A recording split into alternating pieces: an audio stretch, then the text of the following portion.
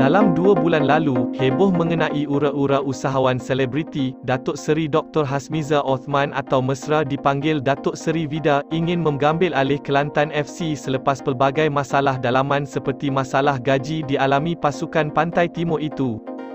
DSV yang pernah menjadi penaja utama Kelantan dengan mengikat perjanjian bernilai RM16 juta bagi tempoh dua musim sehingga 2017 dianggap antara individu sesuai untuk mengambil semula The Red Warriors TRW.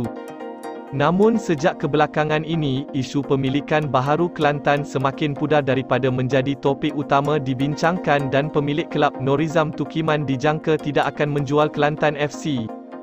Seperti sudah mengangkat bendera putih daripada mengembalikan Kelantan ke zaman kegemilangannya, DSV nampaknya sudah beralih arah untuk memiliki pasukan Liga Super lain iaitu Sabah FC. Kabar angin, usahawan kosmetik itu ingin mengambil alih The Rhinos timbul apabila DSV dilihat bergambar bersama Ketua Pegawai Eksekutif Sabah FC, Ahmad Marzuki Nasir dan Ketua Pemasaran dan Media The Rhinos, Farish Aziz.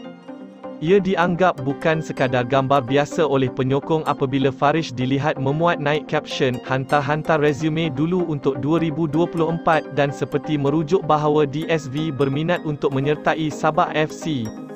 Sekalipun tidak ingin memiliki 100% Sabah FC, DSV juga dianggap berminat untuk menjadi penaja utama The Rhinos pada musim depan.